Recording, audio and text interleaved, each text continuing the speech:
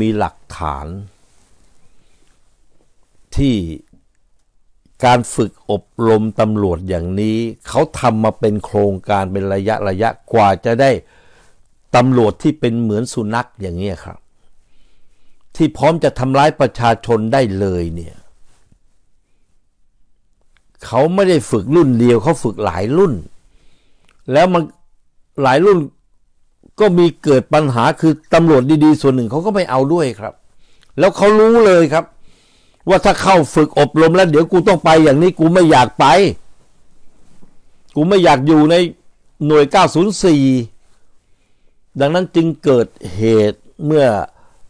สองสมปีก่อนนะครับจำได้ไหมครับ ที่ผมเอาคลิปต่างๆ มาเสนอท่านหลายทีแล้ว หรือท่านจะหาเองก็ได้วันนี้ ท่านกดเข้าไปใน Google แล้วบอก ตำรวจลาออกพร้อมกันพันนายเนี่ย คลิปมันจะมาเต็มเลย ผมขี้เกียจเอามาโชว์ท่านอีก มันยืดยาวนะครับ แต่วันนี้จะเอามาบอกกับท่าน คือประจักษ์พยานซึ่งมันหายาก แล้วมันสอดคล้องกับเหตุการณ์นี้พอดีนะครับ สอดคล้องกับเหตุการณ์นี้พอดี ก็ทำให้ หลักฐานที่ยืนยันได้ว่าตำรวจชุดควบคุมฝูงชนเหล่านี้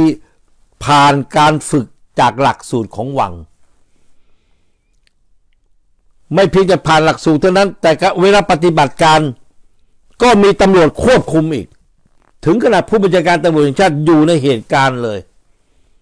เอาเอาสิครับ แล้วมันจะไม่หนักได้ยังไงล่ะครับ เข้าใจนะครับ ดูภาพนี้สิครับ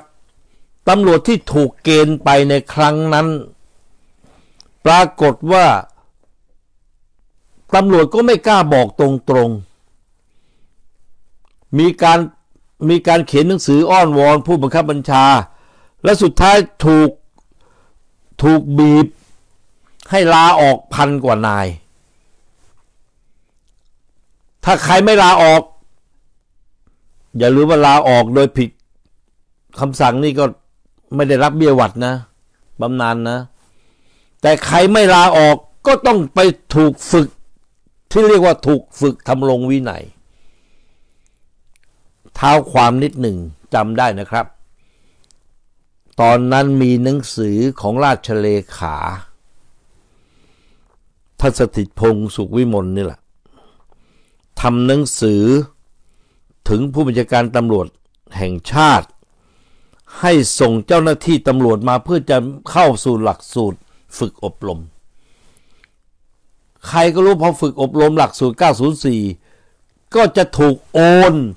มาเป็นตำรวจ ราชองครักษ์ เขาก็เลยไม่อยากมากัน แต่ไม่มาก็ไม่ได้ เพราะจะผิดคำสั่งก็มา พอมาแล้วมาเซ็นชื่อ แล้วก็บอกว่าไม่พร้อมจะฝึก ปรากฏคนที่เซ็นชื่อไม่พร้อมจะฝึกนี่ครับ มีเกือบพันคน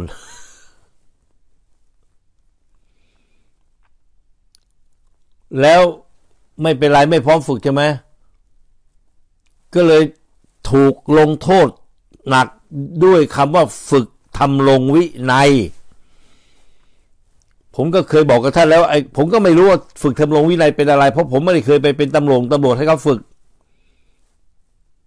ก็เช็คข้อมูลข่าวสารเข้าไปเขาบอก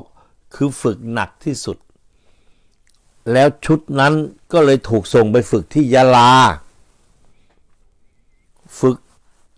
ฝึกไปฝึกมาฝึกเสร็จ เอาไปฝึกต่ออีกเก้าเดือนครับ แล้วไม่ได้ส่งกลับไปประจำงานที่เดิมด้วยนะ ส่งกลับไปอยู่หน่วยงานอื่นที่ไม่มีบทบาทแล้ว ตอนนี้ไปนั่งโต๊ะ บังเอิญหนึ่งในนั้น เมียเขาเป็นทนายความเขาเลยมาพูดเรื่องนี้ให้ฟังตำรวจพวกนั้นมีเมียทั้งนั้นนะครับ แต่ปิดปากหมดไม่มีใครกล้ากลัว ก็มันเชื่อมโยงกับวังใครก็กลัวทั้งนั้น แต่บังเอิญคุณผู้หญิงคนนี้เนี่ย เขา เขาเป็นทนายความชื่อสสินันธรรมนิธินัน แล้วเป็นทนายความศูนย์ทนายความเพื่อสิทธิมนุษยชนด้วยครับ ผมถึงบอกว่าจังหวะอย่างนี้นานๆหาได้ยากครับ เลยต้องเปิดสักหน่อย เหตุการณ์ตรงนี้ ผมให้ท่านดูรูปนี้ก่อนนะครับ เพื่อเห็นหน้าเธอชัดๆ เพราะเธอเปิดเผย อันนี้ก็ไม่ได้คิดว่ามาทำอะไรให้ท่านลำบากขึ้นนะครับ เพราะเปิดเผยต่อสาธารณะอยู่แล้ว คือเธอสู้ว่างั้นเถอะเก้าเดือนแห่งความเจ็บปวด เสียงภรรยาตำรวจที่ถูกธำรงวินัย อันนี้ไม่ได้เป็นข่าวเฉพาะในประเทศไทยครับ เป็นข่าวอินเตอร์ไปแล้ว BBC เขาก็เปิดเผยนี่เลยแปลมาเป็นภาพภาษาไทยให้ท่านดูด้วย เห็นไหมครับ เมื่อวันที่ 27 กุมภาปีนี้ เพิ่งเกิดขึ้น เกิดขึ้นก่อนที่จะเกิดเหตุการณ์ 28 ที่มีการปราบประชาชนอย่างรุนแรงที่หน้าบ้านไอ้บ้านพักไอ้เจ้ายุทธเนี่ยทำลงวินัยทนายสิทธิ์บอกเล่า เรื่องราวของสามีที่ถูกทำโทษ 9 เดือน เพียงเพราะอยากจะเป็นตำรวจต่อครับ ใครเขายังใครไม่อะไรวอนลาออกก็ออกไป แต่ถ้าเป็นต่อ มึงต้องอยู่ภายใต้ตีนฉัน นี่เป็นหลักฐานชิ้นสำคัญอันหนึ่งนะครับ ที่นานๆเราจะได้ทีหนึ่งขออนุญาตอ่านให้ท่านฟัง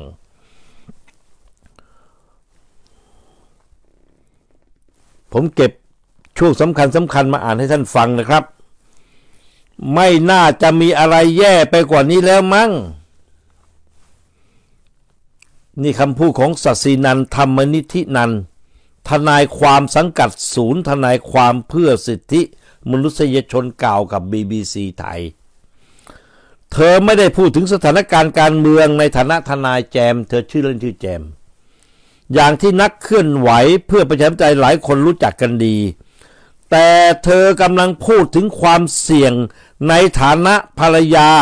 ที่ตัดสินใจออกมาบอกเล่า เรื่องราวของคู่ชีวิตและพ่อของลูกเธอ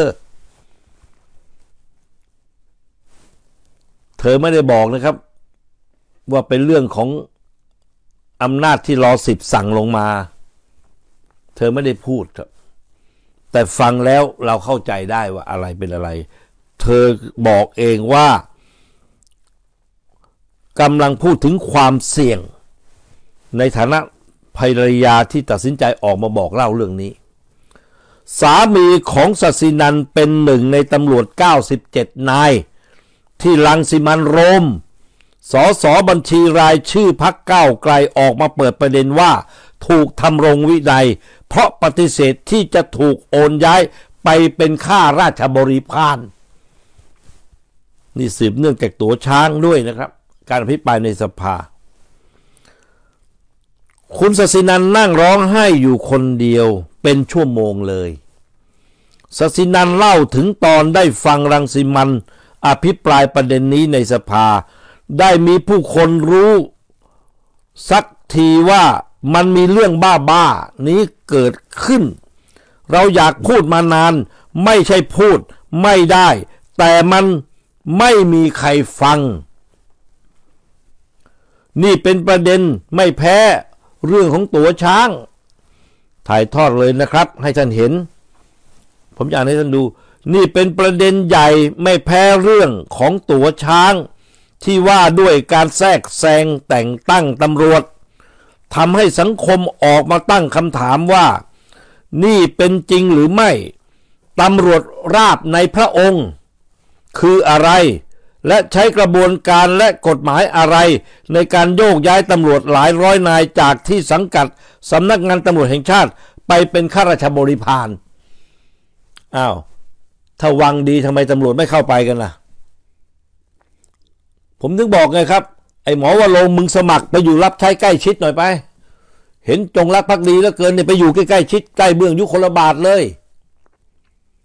พวกเสื้อเหลืองทั้งหลายเนี่ย ตัวเองแก่แล้วไปไม่ได้ก็ส่งลูกสิ ไปรับใช้ท่านในวังเลย ถ้าท่านคิดว่าจงรักภักดีมากนี่ แล้วพระองค์ท่านมีเมตตาเอาไปเลยครับ ไปอยู่เลยเขาเปิดรับเยอะแยะ แต่นี่ตำรวจไม่ยอมไปกันครับเขารู้ว่าอะไรเป็นอะไร ในการอภิปรายไม่ไว้วางใจเมื่อวันที่ 19 กุมภานายรังสิมันได้นำเอกสารชั้นต้นต่างๆ ที่มีตั้งแต่หนังสือจากสำนักราชเลขานุการในพระองค์ เมื่อเดือนมกราคม 2562 ซึ่งลงนามโดยพลอากาศเอก สถิตพงศ์สุวิมล ราชเลขานุการในพระองค์ส่งถึงผู้บัญชาการตำรวจแห่งชาติ ที่กองบัญชาการทหารมหาดเล็กราชวัลลบรักษาพระองค์ จะคัดเลือกนายตำรวจมาบรรจุลงในกองบังคับการตำรวจ มหาดเล็กราชวัลลบรักษาพระองค์ 904 แล้วไม่ยอมมาเป็นก็ต้องถูกบีบให้ไล่ออก ให้ออกต้องลาออกไป มันถึงได้เกิดการลาออกเกือบพันคนไงครับ ที่ผมเคยบอกกับท่าน วันนี้แหละมาเปิดให้เห็นชัดๆทั้งหมดหนึ่งในนั้นที่ต้องการจะเป็นตำรวจต่อ แต่ไม่ขอเป็นข้าราชบริพารขอเป็นตำรวจอาชีพไม่ได้ และไอ้เจ้านายก็คัดเลือกมาครับ คัดเลือกตำรวจดีเด่นรูปร่างกำยำอายุตามสัดส่วน ตามที่ราชเลขาส่งไป นี่คงเป็นเหตุการณ์หนึ่งนะครับ เราคงเห็นแล้วนะนะ อันนี้ตรงนี้ผมข้ามไปก็แล้วกัน ที่คุณรังสิมันโรมอภิปราย เขาบอกว่าเวลาคัดเลือกตำรวจเนี่ย คัดเลือกไปก่อนครั้งแรกพันสามร้อยนาย เอาคนที่ละรูปร่างสันทัด แบบเดียวกันเลยนะครับ สูงไม่สูงไม่เตี้ย จนเกินไป เขาคัดเลือกบุคคลเลย แล้วนี่คือหนังสือของสถิตพงศ์นะครับ ลงวันที่ 15 มกราคมที่ถึงผู้บัญชาการตำรวจแห่งชาติ ให้คัดเลือกบุคคลเหล่านี้มา แน่นอนครับ คัดไปคัดมาก็เลยได้สามีของเธอไปด้วย สามีคนอื่นๆก็เยอะแยะพวกนี้มีเมียกันทั้งนั้นแหละลูกเมียเขาเดือดร้อน เขาไม่สนใจ อ้าว เป็นตำรวจทหารต้องเสียสละอ้าวว่ากันไป แต่ปัญหาว่าการเสียสละของเขาเนี่ยเขาขอจะขอเป็นตำรวจในอาชีพของเขาได้ไหม เพราะเขาสอบเข้ามาแล้ว ดันถูกคัดเลือกไปฝึกพอไปฝึกปั๊บก็จะเอาเขาไปย้ายหน่วยเลย เขารู้ชะตากรรมว่าจะต้องมารับใช้อย่างที่ปราบประชาชนอย่างนี้แหละ ท่านเห็นนะฮะการเชื่อมโยง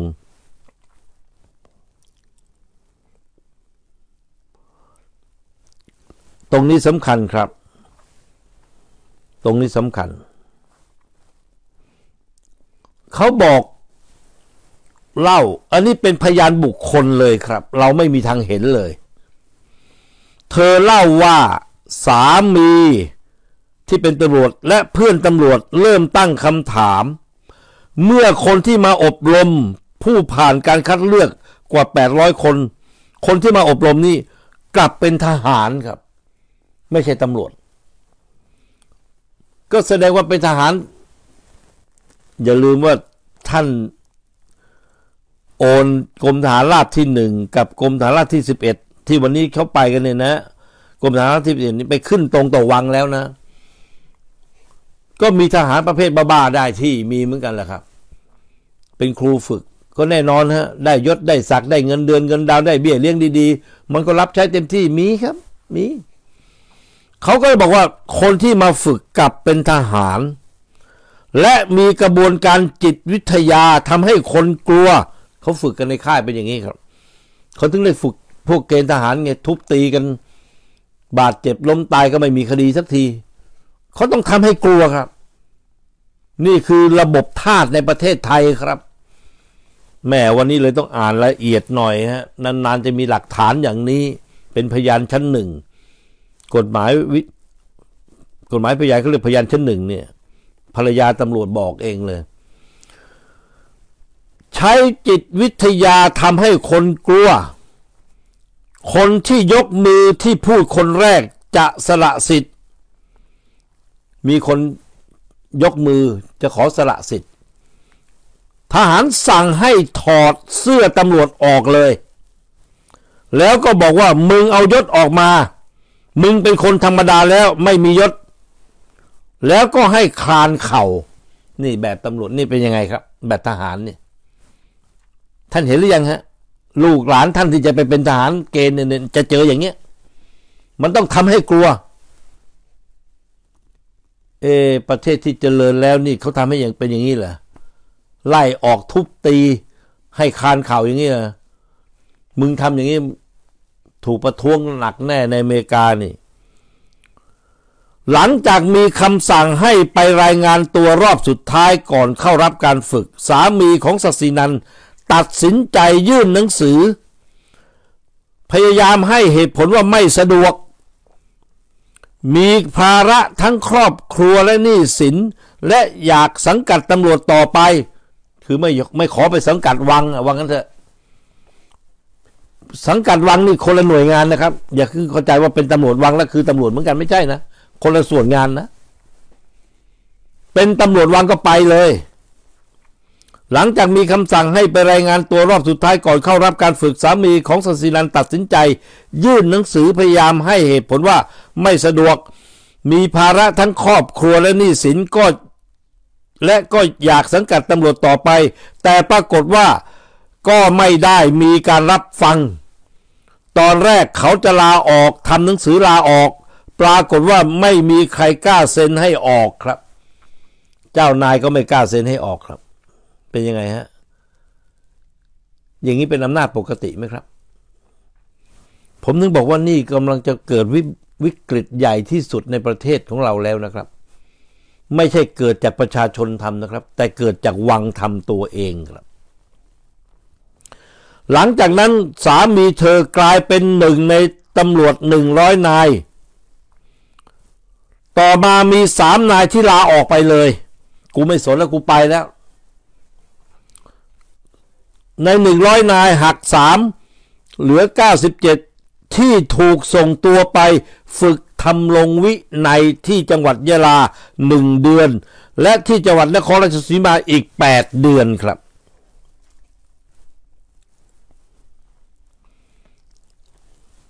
BBC ไทยพยายามจะสอบถามไปยังพันตำรวจเอกอ้าวนี่เขาเจาะข่าวด้วยนะ เอ๊ว่ามึงกดขี่กันขนาดนี้เหรอเขาก็ BBC เขาก็เลยสอบถามไปยังพลตำรวจเอกจักรทิพย์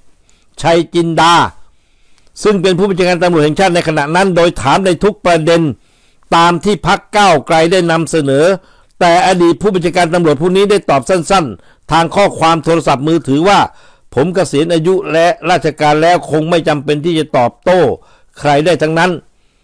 อ๋อเขาถามไปที่จักรทิพย์ขอโทษนึกว่านึกว่าไอ้ไอ้สุวัต เขาถามไปที่อดีต อดีตมันก็ปัดได้อย่างนี้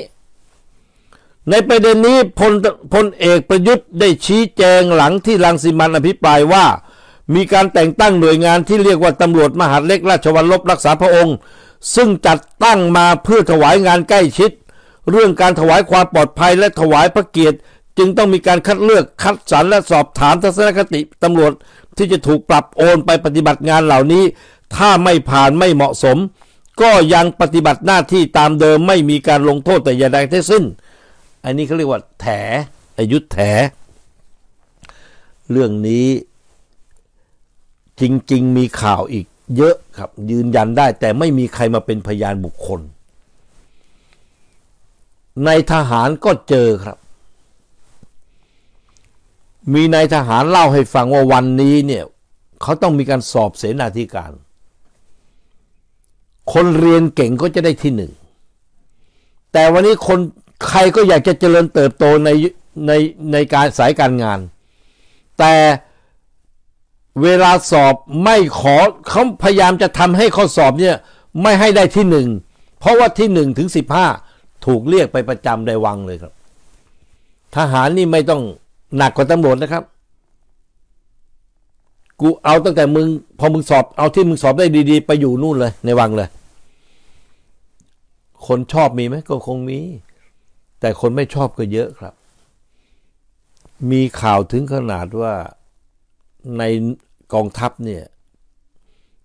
ถ้าใครถูกเรียกตัวเข้าวังนี่บางคนลาออกเลยครับ กูไม่เอาเลย นี่เป็นข่าวมานานแล้ว แต่ไม่มีพยานบุคคลว่าชื่อนั้นชื่อนี้ไม่มีครับ ดังนั้นวันนี้ เรื่องของ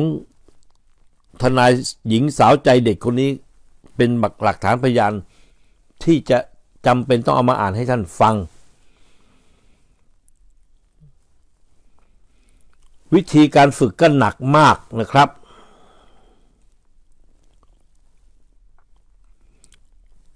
เขาก็เล่าให้เห็นว่า วิธี ในวิถีทางของสามีเขาเนี่ยเขาสู้เพื่ออยากจะเป็นตำรวจต่อสัสินันเล่าถึงการตัดสินใจของสามีเขาบอกว่า เขาคิดไม่ออกเลยว่า เขาจะเป็นอะไรนอกจากตำรวจ เขารู้สึกเขาก็รู้สึกว่าถ้าเขายอมลาออกโดยที่เขายังไม่ได้ลองสู้ในวิธีของเขาก่อน มันจะติดค้างในใจตลอดชีวิต ตามประวัติเนี่ย เขาตั้งใจจะเป็นตำรวจตั้งแต่เด็กๆ สามีเขาเนี่ยนะครับ ที่เขาเล่าในเนี้ยเพราะว่าตอนเด็กๆเนี่ย เหมือนเราทุกคนนะครับ ที่เห็นตำรวจใช้อำนาจ เจ้าหน้าที่บ้านเมืองใช้อำนาจต่อพ่อแม่ของเขา อย่างไม่เป็นธรรม เขาก็เลยอยากจะขึ้นมาเป็นตำรวจบ้าง เพื่อจะได้เป็นตำรวจที่ดี ดังนั้น พอเขาจะลาออกเขาก็นึกว่าได้ว่า แล้วเขาเป็นมานานแล้วนี่เขาก็ไม่รู้ว่าจะออกมาแล้วจะทำยังไง ก็เลยลองสู้สักตั้งหนึ่ง ก็เลยเจอเรื่องนี้แหละครับ เป็นเรื่องขึ้นมานะครับ คุณศศินันนี่เขาพูดตอนนี้ครับเขามีเอกสารประกอบหมดนะครับนี่นี่เอกสารประกอบคำสั่งสำนักงานตำรวจแห่งชาติครับ ที่แต่งตั้ง อืม หลักสูตรอบรมต่างๆ นี่นะครับ ท่านไปหาอ่านดูรายละเอียดได้นะครับ แต่ผมโพสต์ตรงนี้ให้ท่านดูหน้าถัดมานี่ นี่ครับ ในฐานะทนายความ เธอบอกว่าในฐานะทนายความจากที่เคยเอากฎหมายไปจับปัญหาได้แต่กรณีที่เกิดขึ้นกับสามีเธอไม่รู้เลยว่าวัตถุแห่งคดีคืออะไร ศาลปกครองไม่ได้ละ มันไม่เป็นคำสั่ง คือเธอจะเอาเรื่องนี้ไปฟ้องศาลครับ แต่ปรากฏว่าวิธีการที่จัดการตำรวจ ตามที่เป็นข่าวเนี่ย มันเป็นคำสั่งภายในที่จับต้องไม่ได้เลยครับ และเป็นเรื่องที่เกี่ยวกับวังเนี่ย เธอก็คงไม่สามารถจะบรรยายได้ว่าจะเอา เอาเรื่องนี้ไปฟ้องศาลยังไง เธอใช้คำว่า ในฐานะทนายความจากที่เคยเอากฎหมายไปจับปัญหาได้ แต่กรณีที่เกิดขึ้นกับสามีเธอ เธอไม่รู้เลยว่าวัตถุแห่งคดีคืออะไรศาลปกครอง ไปศาลปกครองไม่ได้ละ มันไม่ได้เป็นคำสั่งคำสั่งสิ้นผลไปแล้ว ไปศาลรัฐธรรมนูญไหม แต่เอาหลักการอะไรไปจับล่ะ ก็ได้แค่เสรีภาพในการประกอบอาชีพเลย คือฟ้องศาลปกครองก็ไม่ได้ ไปศาลรัฐมนุนยิ่งไม่ได้ใหญ่ เธอบอกว่าตำรวจเองพอเจอกลุ่มแบบเนี้ยที่ไม่ยอมไปเหมือนเขาก็กลัวกันนะว่า เรื่องจะไปถึงข้างบนหรือเปล่า ถึงวังหรือเปล่านั่นเองนะด้วยความที่ การเอาคนมาทำลงวินัย มันไม่ได้อยู่ในหลักกฎหมายหรือระเบียบอะไร คือกูแกล้งฝึกมึงแรงหนักๆนี่คือการการใช้อำนาจในโครงสร้าง ถึงได้กลัวกันไงครับ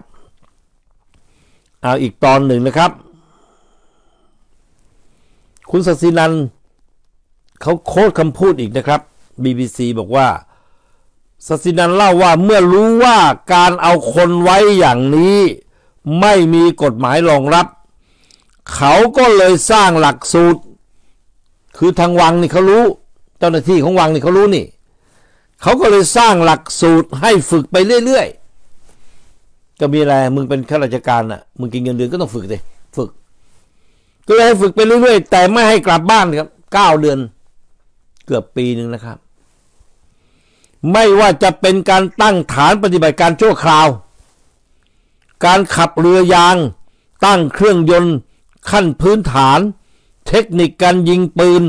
โดยไม่ใช้ศูนย์ไปจนถึงจักรยานยุทธวิธีและสายตรวจ ฝึกแหลกเลย เออ พวกกับผมมีความรักในอาชีพตำรวจอย่างแท้จริง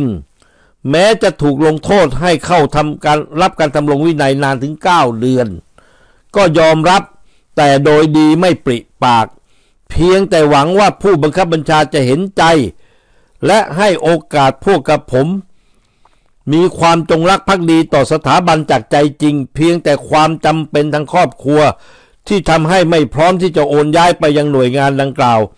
คือข้อความส่วนหนึ่งจากจดหมาย ขอความเมตตา โดยตำรวจ 97 คนที่ส่งไปยังผู้บัญชาการตำรวจแห่งชาติครับ นี่คือจดหมายขอความเมตตา ก่อนจะถูกบีบไล่ออกกันเกือบพันคนนั่นนะครับ เขาก็อยากจะเป็นตำรวจ ก็อาชีพของเขานะครับ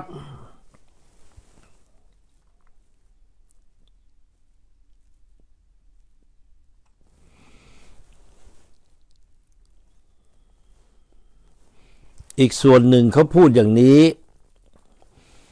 คุณศักดิ์สินันบอกว่าทำไมถึงยอมเห็นคนคนกลุ่มหนึ่งถูกกระทำอย่างนี้ ทุกคนรู้ว่ามันไม่เป็นธรรมกับเขา แต่ทุกคนก็ยอมอยู่อย่างนั้นไม่มีใครทำอะไร เพราะทุกคนกลัวครับ นี่เขาพูดถึงว่าใครก็เห็นเหตุการณ์ไม่เป็นธรรม แต่ทุกคนไม่กล้าพูด ลูกเมียตำรวจก็ไม่กล้าพูด เพราะทุกคนกลัว เมื่อก่อนมีไหมครับ ในรัชกาลที่เก้ามีอย่างนี้ไหมอ้าวเอาหลักฐานตรงๆ ไอ้พวกสลิมเข้ามาจะได้รู้สักหน่อย ว่าอะไรเป็นอะไรสัสินันยกประเด็นนี้เทียบกับประเด็นเรื่องประมวลกฎหมายอาญามาตรา112 ทุกคนก็รู้ว่ามันแย่ หลายหลายคนก็พูดกันรับหลังเยอะแยะมากมาย แต่ก็ไม่มีใครทำอะไรไม่มีใครออกมามากพอ เธอบอกว่าสิ่งที่เหมือนกันในตัวอานนท์นำพา ที่เธอเรียกว่าเป็นทนายพี่เลี้ยง สอนงานเธอมาหลายปี คุณพิชชีวนันหรือเพนกวินซึ่งเป็นรุ่นน้องที่เธอสนิท และสามีเธอเองคือการคิดไปไกลกว่าตัวเอง ท่านเห็นแล้วนะครับตำรวจดีมีแต่เขาเปิดตัวไม่ได้ ถูกกันแกล้งก็ต้องนิ่ง อันนี้บังเอิญพอดีจริง ๆ ที่ภรรยาเขาเป็นทนายความ แล้วเป็นทนายความสิทธิแล้วรู้จักกับบุคคลเหล่านี้ เขาเลยกล้าที่จะออกมา เขาเลยเทียบบอกว่า ก็คล้าย ๆ กับคดีหนึ่งหนึ่งสองนั่นแหละเหมือนกัน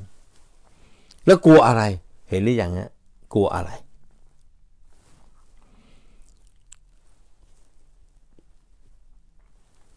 ตรงนี้เป็นจุดที่ทำให้เขาต้องฝ่าความกลัวจากสิ่งที่เขาได้ประสบเองตรงๆแล้ว ถ้าคนเราคิดแค่ตัวเองไม่ทำอะไรพวกนี้หรอก คิดว่าทำไปเดี๋ยวเมีย เดี๋ยวลูกลำบากสัสินันกล่าวว่าสัสินันเขากล่าว แฟนของแจมพูดว่าการที่เขายอมโดนทำลงวินัย ยอมขัดคำสั่ง เพราะเขาต้องการให้ไม่มีการคัดตัวแบบนี้อีก ไม่ให้รุ่นน้องเขาต้องมาอยู่ในความไม่มั่นคงแบบนี้อีก เขาไม่ได้คิดแค่ว่าเมียและลูกจะลำบาก เขามองแค่ว่ามันจะเป็นผลดีกับตำรวจอีกหลายคนมากๆ ที่อาจจะต้องเจอแบบเขาในอนาคต ตรงนี้เข้าใจว่าทั้งผัวทั้งเมียนี่ เขาออกมาเสียสละกล้าเปิดข้อเท็จจริงเหล่านี้แล้ว โดยหวังว่าวังจะไม่ใช้อำนาจอย่างนี้ ไปกันแกล้งตำรวจผ่านคนของวังที่คุมตำรวจอยู่ข้างบน ลงไปจัดการ ก็ไม่รู้ว่าจะสำนึกกันหรือเปล่านะครับ ผู้บัญชาการตำรวจแห่งชาติ คุณต่อศักดิ์สุขวิมลคุณจิรภพภูริเดชท่าน ราชเลขาท่านสถิตพงศ์และคุณจักรภพภูริเดชนะครับ ก็ไม่รู้ว่าจะจะรู้สึกตัวหรือเปล่า ถ้ารู้สึกตัวก็เป็นประโยชน์ต่อตำรวจที่จะไม่ถูกกดขี่อย่างนี้ นี่คือพูดง่ายๆว่าตำรวจเขาสู้แล้ว ส่วนหนึ่งเขาสู้แล้วครับ แต่อีกส่วนหนึ่งก็สละเอี้ยไปนะครับ ก็รับใช้เขาไปอย่างที่ท่านเห็นนั่นแหละ ถ้าวันหนึ่งลูกมาถามว่าตอนที่เขาวุ่นวายกันแม่ทำอะไรอยู่ เราจะเป็นคนที่ลูกภูมิใจว่า ในเวลาที่สังคมมันบ้าบ้าบอบอวุ่นวายเนี่ย แม่เป็นหนึ่งในฟันเฟืองที่ช่วยให้โลกมันเปลี่ยนแปลง นะครับ นี่คือ สิ่งที่พูดถึง แล้ว บุคคลที่ผมว่านั้น ก็สำทับได้ ที่ประยุทธ์มันบอกใบ้มานี่นะครับ คงจำคำบอกใบ้ประยุทธ์ได้นะครับ นายกเตือนอย่าท้าทายนะ เออ ตายได้ทุกเมื่อ อย่าท้าทายพญามัจจุราชคำพูดของไอ้ยุทธเนี่ยแหละครับ มันบอกถึงกษัตริย์เป็นพญามัจจุราช เอาตรงๆอย่างนี้ วันนี้คือรูปธรรมที่ท่านเห็น แล้วตำรวจสายวังนะครับ ที่มีอำนาจ ก็จะได้รับสิทธิพิเศษ ผมให้ท่านดูนะครับ คุณต่อศักดิ์สุวิมลหน้าตาอย่างนี้อีกครั้งหนึ่ง ที่ท่านก็รู้ว่า ตอนนี้กำลังขัดแย้งกับพลตำรวจเอกสุชาติ ซึ่งมียศใหญ่กว่า แต่อำนาจไม่ไม่เหนือกว่าพลตำรวจเอกสุชาติ เป็นรองผู้บัญชาการตำรวจแห่งชาติ จับคดีเรื่องยาไอพันห้าร้อยกิโลที่ภาคเหนือ แล้วมันพัวพันมาถึงต่อศักดิ์สุขวิมลนะครับ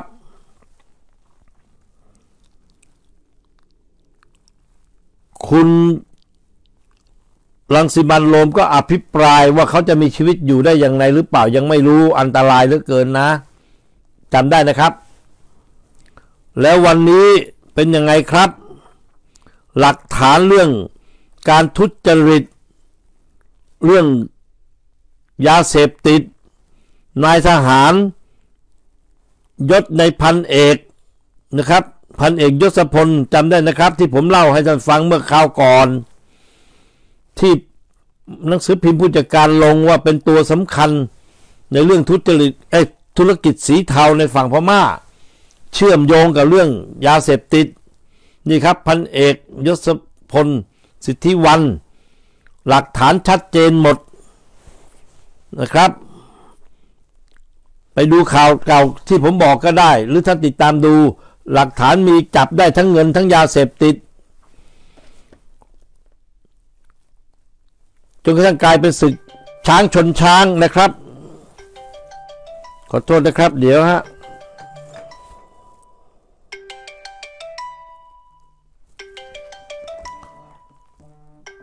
แม่ครับ หลักฐานมีเรื่องช้างชนช้าง แล้วฐานะของคุณต่อศักดิ์สุวิมลก็เป็นน้องชายของคุณสถิตพงศ์สุริมนนะครับ ใหญ่ขนาดไหนแล้วครับ วันนี้จบเรียบร้อยแล้วครับ ปิดข่าว จบสวยแล้ว เรื่องยาเสพติด ผมบอกแล้วไม่มีผิดนะครับ จบ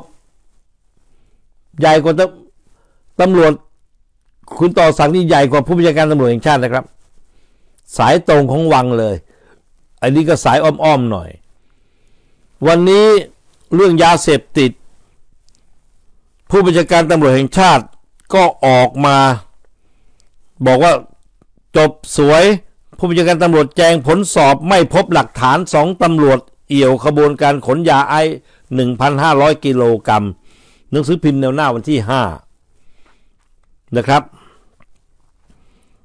จบข่าวแล้วไม่มีแล้วคดีความ เป็นยังไงครับ ตรงนี้แหละครับที่ผมบอกกับท่านว่า นี่ตกลงมันปกครองด้วยระบบอะไรกันไม่ทราบ วันนี้ประเทศไทยมันเป็นรัฐมาเฟียไปแล้ว ผมเลยเอาคำพูดของคุณปราบดาหยุ่นมาอีกทีนะครับ ในการวิเคราะห์สถานการณ์บ้านเมือง คุณปราบดาหยุ่นลูกชายของไอ้เจ้าสุทธิชัยหยุ่นนั่นนะ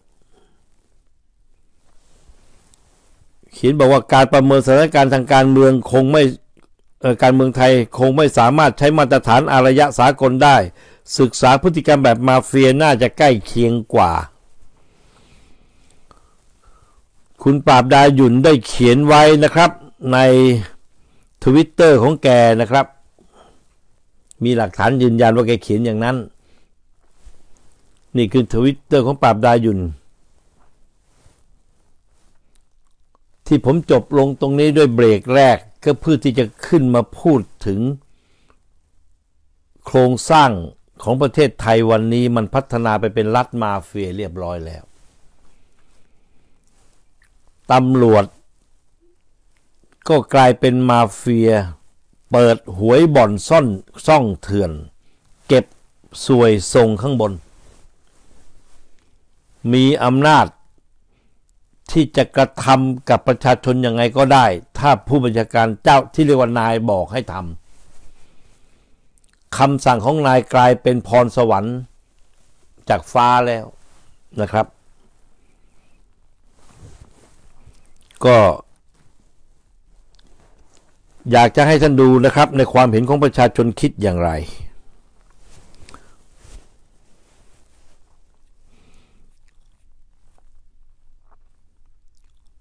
ท่านมาดูความเห็นของประชาชนหน่อยนะครับ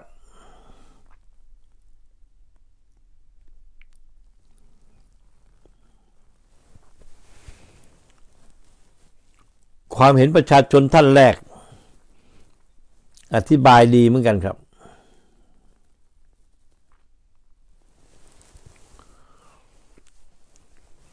กษัตริย์คือนักการเมืองที่ยึดถืออุดมการราชาธิปไตย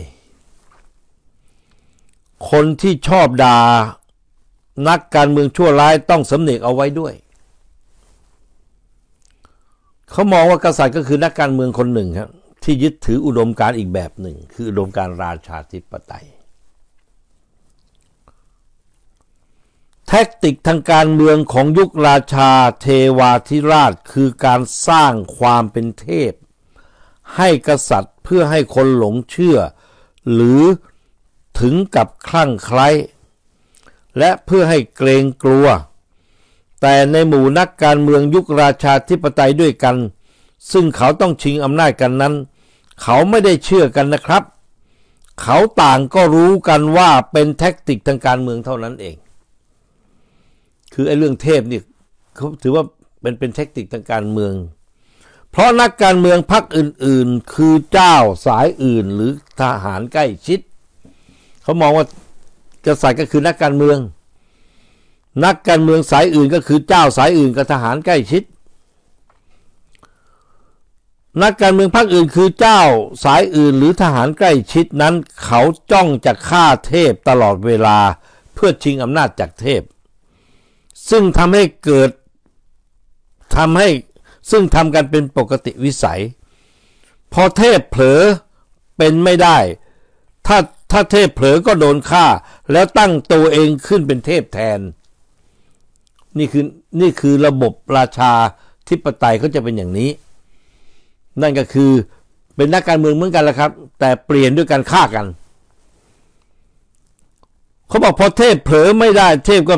เผลอก็โดนฆ่าแล้วตั้งตัวเองขึ้นเป็นเทพแทน มันจึงเป็นการปราบดาพิเศษกันตลอดเวลา เหมือนกันทั้งโลกนั่นแหละ อยุธยานี่ก็ฆ่าเทพกันไป เทพฆ่ากันไปมาเป็นว่าเล่น แล้วก็ฆ่าแบบยกครัวเจ็ดชั่วโคตรเลย แล้วในเทพนั้นก็จะสร้างพิธีกรรมนะครับ เทพก็จะสร้างพิธีกรรมให้คนใกล้ชิดสาบแช่ง สาบานปฏิญาณตน โดยเฉพาะทหาร เพราะเทพ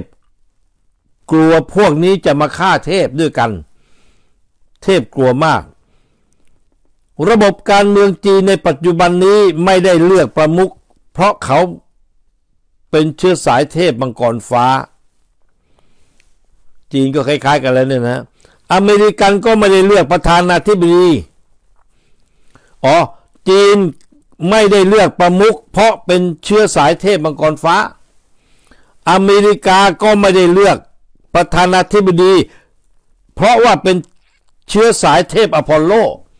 เขาไม่ได้เลือกเพราะเป็นเป็นสายเทพนะ แม้แต่อินเดียก็ไม่ได้เลือกประธานาธิบดีหรือนายกเพราะเป็นนารายอวตารก็คือเลือกกันเป็นแบบประชาธิปไตยไม่ได้เกี่ยวกับ เจ้าบนฟ้าแล้ว แท็กติกทางการเมืองแบบนี้มันใช้ไม่ได้แล้วในระบบการเมืองใหม่ เขาจึงเลิกใช้กันหมด ที่คนไทยยังเชื่อฝังใจว่าประมุขคือเทพ หรือผู้มีบุญบารมีมาแต่ปางก่อนนั้น เป็นความประสงค์ของนักการเมืองในระบบราชาธิปไตย คือเป็นเพียงแท็กติกทางการเมือง ส่วนเจ้าสายสกุลอื่นก็คือพรรคการเมือง ราชาธิปไตยที่พ่ายแพ้ การครองอำนาจไปแล้วนั่นเอง เจ้าของพรรคที่พ่ายแพ้นั้นในรุ่นต่อไป ต่อต่อมาก็ค่อยๆถอยลงมาเป็นคนธรรมดา นักการเมืองที่พ่ายแพ้ไปแล้วนั้น เขาก็ไม่ได้เชื่อเรื่องเจ้าหรือคือเทพ เพราะเขารู้ว่าเป็นเพียงแท็กติกทางการเมืองที่เขาก็เคยใช้มาก่อน อันนี้ก็เป็นความเห็นแรก ผมเสริมให้ฮะ วันนี้ยังเห็นได้ ว่าเจ้าก็คือนักการเมืองคนหนึ่ง คือต้องการมีอำนาจ แต่ไม่ใช่อำนาจในระบบประชาธิปไตย เป็นอำนาจในระบบความเชื่อแบบราชาธิปไตยหรือเทวาธิราช เป็นเรื่องของอำนาจของพระเจ้า วันนี้เห็นที่ไหนฮะในตะวันออกกลางซาอุดีอาระเบีย มีนักการเมืองที่เป็นกษัตริย์ เสร็จแล้วพอกษัตริย์สายนี้ขึ้น อีกสายหนึ่งก็จะถูกปราบไป ที่อย่างวันนี้ที่เกิดขึ้น อันนั้นเขาเรียกว่าอีกอีกอีกสายพักการเมืองหนึ่งก็พ่ายแพ้ไป แต่เป็นการพ่ายแพ้แบบถูกปราบ ท่านที่เขียนขึ้นมานี้ ท่านก็เขียนขึ้นมาเพื่อที่จะอธิบายเรื่องราวให้ฟังโอเคนะครับ